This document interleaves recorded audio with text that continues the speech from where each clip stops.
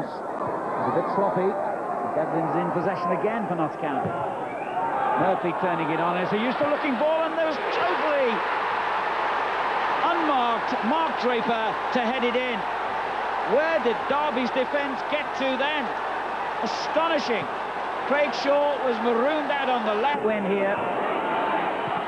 But a mistake by Palmer, and then another mistake has given Derby County an equaliser, an own goal in the last minute. What a tragedy for Notts County. Dijkstra sinks to his knees. He cannot believe it.